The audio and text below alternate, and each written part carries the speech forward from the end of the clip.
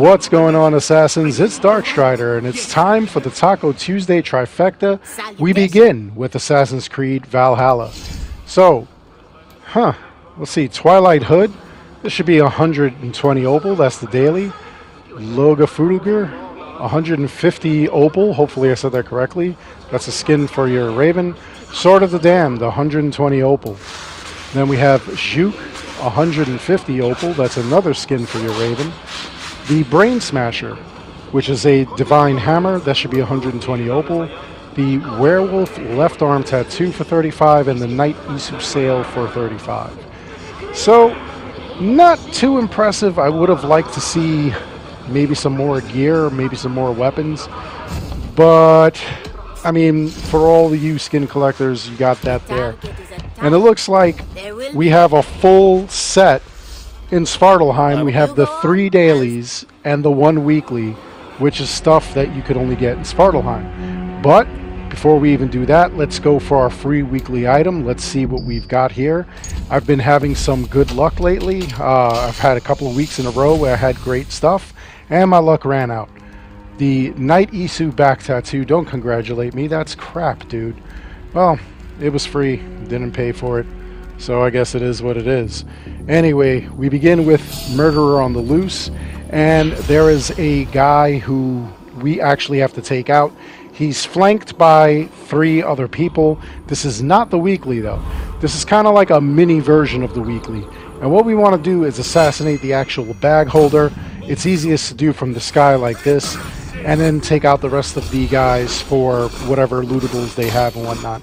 This will give you 5 opal, 300 XP, and the other way to do that, as I've said before, you could actually just take a sleep arrow and knock the person out or knock the group out and then assassinate the guy in the center.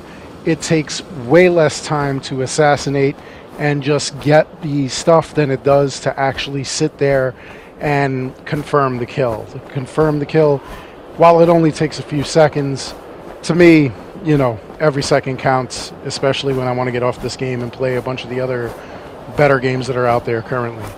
Anyway, uh, the next up we have Nada Muspel Crate, and this one is something similar to Midgard, where we're supposed to go and find these carts and light them on fire by, you know, either torch, an incendiary weapon, or just shooting at the uh, powder kegs that are on the carts. But it's bugged. As you get closer, as you can see in the upper left hand corner, the bar will start to fill white, the carts start to destroy themselves. You could either do this on horseback and get closer, or you could do this by just sending your raven as I'm doing. In completing that, you will get 5 opal and 300 XP without even having to do anything, with only sending your raven or just getting close to it. After that, we have the Kyra's Challenge, which is basically we're going to go over to the Valkyrie Arena, we're going to select Retta's Challenge, and then we're going to enter an arena fight.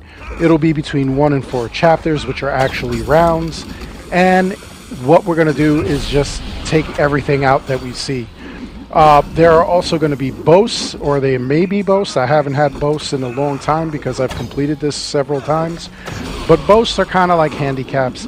It makes the fight a little bit harder for you, and it increases the amount of tokens that you will get for the Valkyrie store. You know, those little tokens you could get. I think they have like a bunch of different uh, runes that you could get, and later on it's just materials after you get all the runes and other items.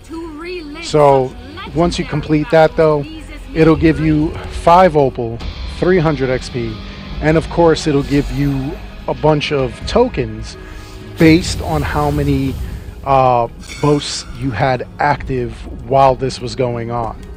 All right.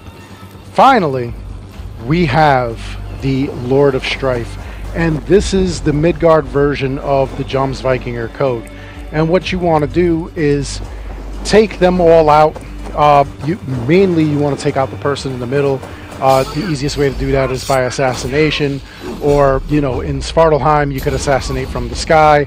Uh, the other way you could do it is you could assassinate like I if I would have picked the right person I could have got it this way or like I said before use the arrows the sleep arrows to knock them all out and then take them out eh, by assassination rather than confirming the kill. And you could do that with the Jomsvikinger code.